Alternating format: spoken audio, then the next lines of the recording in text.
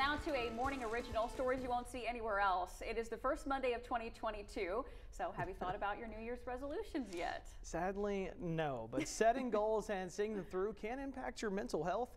One expert tells Wake Up Central's Michael Aaron foregoing resolutions is okay too.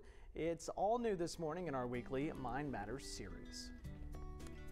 We've reached the point in the year where many of us are so wrapped up in the idea of losing weight, getting organized, paying off debt, dropping this habit or that. But pause. Ashley Gold, a therapist at UAMS, says it's important to look back. Try to think of one lesson or accomplishment from each month of 2021.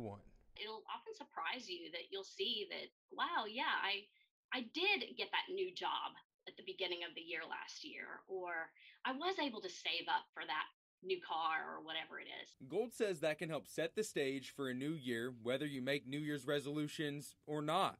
I encourage people to do what feels good to them. And she encourages people who set goals to start small and make them attainable a lot of us are all or nothing thinkers. Well, if I haven't been going to the gym at all, it's probably not very realistic for me to think that all of a sudden I'm going to go to the gym five days a week. Setting unachievable goals sets us up for failure and quite possibly beating ourselves up. According to Gold, that negative self talk can take a toll on our mental health.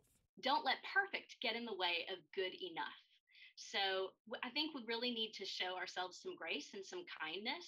Gold says the pandemic has been tough, but also given many of us the opportunity to reevaluate our priorities. So as we enter 2022, she offers this advice one day at a time. That the only thing that's promised to us is the present. We're right where we need to be right now. We think of those typical resolutions year in and year out. So how about something new? Gold says this is a great time to assess our mental wellness and to seek help if you're struggling with things like anxiety or depression. Michael Aaron, THV 11 News.